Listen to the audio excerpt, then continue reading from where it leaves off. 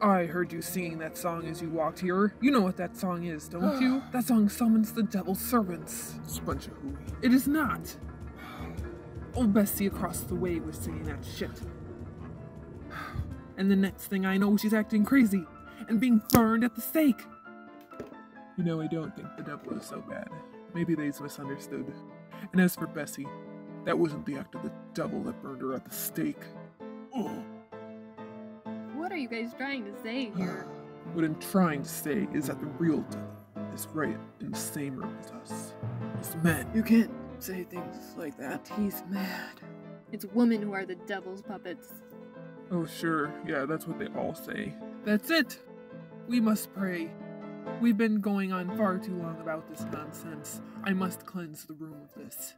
It's just corn. Oh, too bad. Okay. Let me grab my glasses here. Where is it? Hmm. Devil, devil, go away. Never return, even on a rainy day. No one here wants to play. Not even the spider down the drain. We'll shut the doors and lock them tight. No one here wants to see your fright. Frighten us. You will not. Salt the air with your snot. We don't know the devil man, the devil man, the devil man. We don't know the devil man who lives on the fiery lane. Come on, this is ridiculous. Ask me if the devil is real.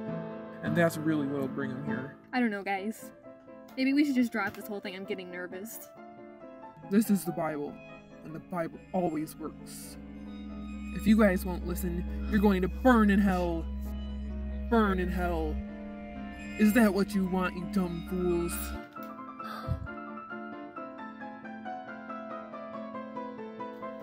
J- Jesus will protect us. Father, Son, uh, protect. Have you ever heard of self-fulfilling